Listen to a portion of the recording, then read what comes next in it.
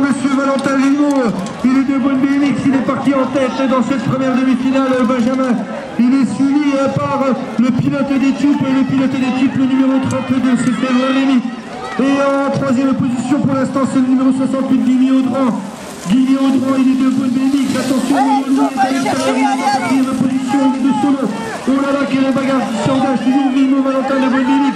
Suivi du pilote des tubes, le pilote des tubes, c'est Rémi. À l'extérieur. Guigny Audran qui est tout à l'intérieur. Que va-t-il se passer dans ce dernier virage Mais quel pilote intelligent, monsieur Mono Voilà qui se voit qualifié en quatrième place. C'est beau, personne n'y tombe.